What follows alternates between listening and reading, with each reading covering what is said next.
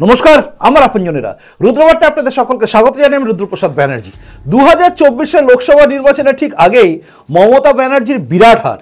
মমতা ব্যানার্জি গেরুয়া, প্লাবনের কাছে বা হিন্দুত্বের ঢেউয়ের কাছে হেরে ভূত হয়ে গেলেন এবং তার সঙ্গে সঙ্গে তাকে সমস্ত ফয়সলা বদল করতে হলো এবং বাংলার বুকে যেটা কেউ ভাবেনি সেটাই ঘটে গেল। চলুন শুরু করা যাক এই মুহূর্তের রুদ্রবার্তা।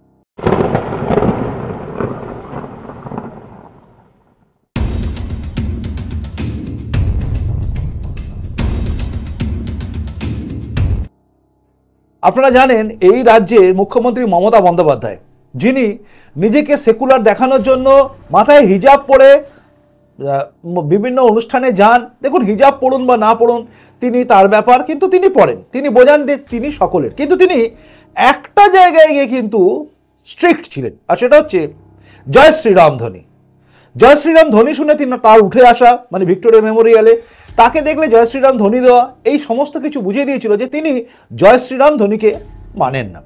দু সালে তিরিশে মে তিনি টিটাগড়ে যখন যাচ্ছিলেন মানে টিটাগড়ে ফিরছিলেন বা আসছিলেন, সেই সময় তার একটা ভিডিও খুব ভাইরাল হয় এবং সেই ভাইরাল ভিডিওতে দেখা যায় তিনি জয় শ্রীরাম ধ্বনির কাছে মানে ধ্বনি শুনে কীভাবে রেগে গেছিলেন, কীভাবে রিয়াক্ট করেছিলেন, এই ক্রিমিনাল ক্রিমিনাল ধর ছাড়বো না নাকা চেকিং হবে, এক টাকাও ছাড়া হবে না। এই টাইপের তিনি কথা বলছিলেন।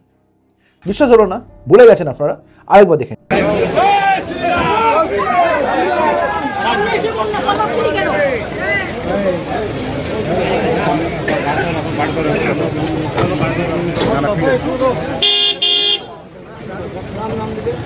দিদি গাড়িতে হামলা চালিয়েছে দিদি গাড়িতে করেছিল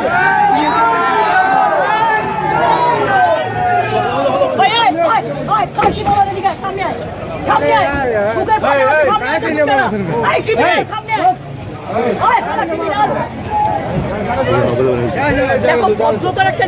হ্যাঁ। আমি আমার গাড়ি রাস্তা দিয়ে যাচ্ছি। সাহস কত বড় বিজেপির ফ্যাক্টরি বেঁধে আমাকে গালাগালি দিচ্ছে দাঁড়িয়ে। তোমরা কি ভাবো এদের আমরা যত্ন করে রেখে দিচ্ছি বাইরের outsider they are not Bengal local people হ্যাঁ দেখলেন? অর্থাৎ মমতা ব্যানার্জি, জয় শ্রীরাম, ধোনির সঙ্গে কীরকম একটা অ্যালার্জি? মনে হতো, তাই না? কিন্তু তারপরে দু হাজার উনিশ থেকে দু বাইশে জানুয়ারি সব কিছু যেন তালগোল পাকিয়ে গেল চারিদিকে।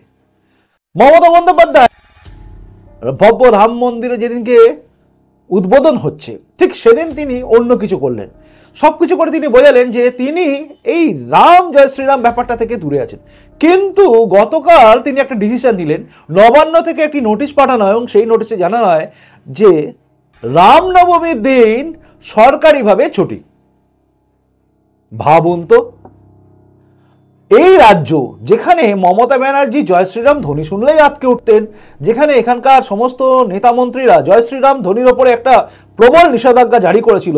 আমি আমার এলাকায় দেখেছি জয় শ্রীরাম ধ্বনি দিয়ে ওই যে মিছিল বেরিয়েছিল, সেই মিছিলের ওপর তাদের একটা নজর ছিল এবং আর তোমরা শ্রীরাম করছ, জয় শ্রীরাম করছ? তার মানে বিজেপি করছ? এই টাইপের একটা ছিল। সেখানে দাঁড়িয়ে রামনবমীর দিন সরকারি ছুটি। ভাবা যায়? আসলে গেরুয়া প্লাবনটাই এমন উঠেছে, দেখুন, আমি কিন্তু আপনাদের প্রথম থেকে বলে আসছি, যে গেরুয়া ঝড় উঠছে গোটা বাংলা জুড়ে। গীতা পাঠের অনুষ্ঠান থেকে শুরু করে সমস্ত ক্ষেত্রে বুঝিয়ে দেওয়া হয়েছে যে গেরুয়া ঝড় কীভাবে এসছে।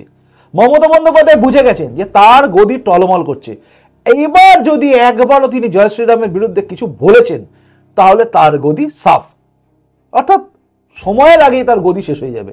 তাই শেষ পর্যন্ত লাস্ট চেষ্টা তিনি করছেন এইভাবে আটকে দিতে। আর এইভাবেই তিনি নিজেকে আবারও কিন্তু হেরে গেছেন, এটা প্রমাণ করে দিয়েছেন। একদম শুভেন্দু অধিকারী আজকে মানে গতকাল রাত্রে একটা পোস্ট করেছেন, ঠেলায় না পড়লে বিড়াল গাছে ওঠে না। তার সেই পোস্ট আপনারা দেখতে পাচ্ছেন এবং তার ব্যাকগ্রাউন্ডে কিন্তু একটা গানও চলছিল যে ঠেলায় না পড়লে বিড়াল গাছে ওঠে না বলে তার পোস্ট সমস্ত দেওয়া আছে। অর্থাৎ সেখানে তিনি পরিষ্কার করে বুঝিয়েছেন যে এই মমতা বন্দ্যোপাধ্যায় সবে বরাত যেটা অনুষ্ঠান ছিল, সেই অনুষ্ঠানটা হচ্ছে পঁচিশে ফেব্রুয়ারি ছিল, তারপরের দিন ছিল সোমবার। সোমবার দিন ছুটি ঘোষণা করেছিলেন। আর সবে বরাত অনুষ্ঠানটা কিন্তু পাকিস্তানে কিন্তু কোনো সরকারি ছুটি ছিল না। আর এখানেই তিনি বোঝাতে চেয়েছেন যে মমতা বন্দ্যোপাধ্যায় অ্যাপিস করছেন। তার সেই লেখা এক্স হ্যান্ডেলে লেখা পোস্ট সমেত তিনি সব পোস্ট করেছেন।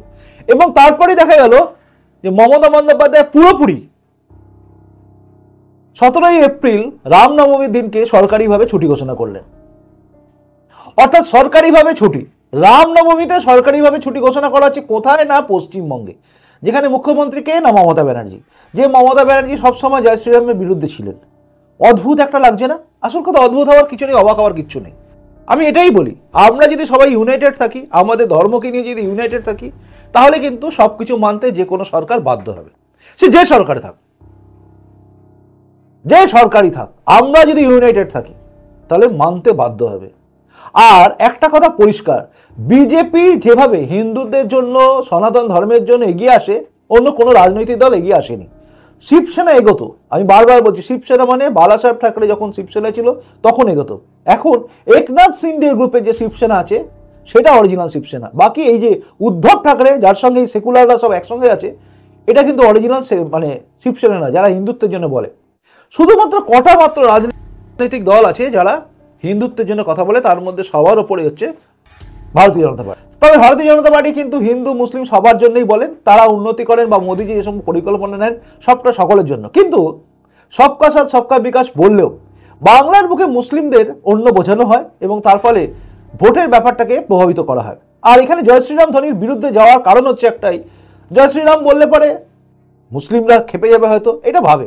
কিন্তু আমার ব্যক্তিগত দেখা, অভিজ্ঞতা বলছে, আমার এলাকায় প্রচুর মুসলিম লোক আছে।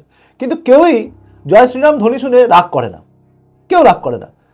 এখানে একে অপরকে যদি কেউ অভিবাদন জানায় জয় শ্রীরাম, কিছু যায় আসে না। কি যায় আসে? কিন্তু মমতা ব্যানার্জি বা সিপিএম বা কংগ্রেস যারা সেকুলার দেখানোর চিন্তা করে, তারা কিন্তু চেষ্টা করে। তবে আমার এলাকাতে কিন্তু কংগ্রেসি লোকেরা জয় শ্রীরাম বলে। কেন মিথ্যে কথা বলব?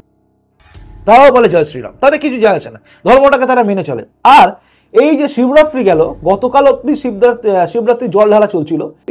হ্যাঁ গতকাল অবধি গতকাল অবধি শিবরাত্রি যে জল ঢালা চলছিল, তাতেও আমি দেখেছি আমার এলাকায় যেহেতু গঙ্গার জল আনতে গেলে আমার এলাকার বাড়ির সামনে দিয়ে যেতে হয়, আমি দেখি। সবার মুখে ধ্বনি উঠছে কিন্তু ভোলে বাবা করে তার সঙ্গে জয় শ্রীরাম। অর্থাৎ রামময় হয়ে গেছে গোটা দেশ, গোটা পৃথিবী বলতে পারা যায়। কারণ পৃথিবী পৃথিবীর যে কোনো প্রান্তে যারা এই সনাতনীরা আছেন, প্রত্যেকেই রামধ্বনিতে মুখরিত হয়।